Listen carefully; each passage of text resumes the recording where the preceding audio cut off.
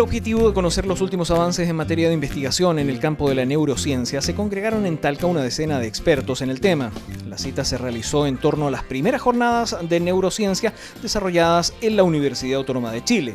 En la oportunidad, la investigadora y académica doctora María Victoria Plaza subrayó la relevancia de este encuentro de investigadores. Esta actividad surgió eh, por una iniciativa de varios profesores de, de aquí de la Universidad Autónoma, también desde investigación por eh, poner en conocimiento las investigaciones de todas aquellas personas que eh, nos desempeñamos en el ámbito de la neurociencia. La instancia desarrollada en el Gran Salón Paraninfo de la Casa de Estudios sirvió, entre otras cosas, para generar más redes de apoyo, potenciar líneas de investigación y motivar a los alumnos psicólogos para formar parte de los equipos investigativos en el futuro.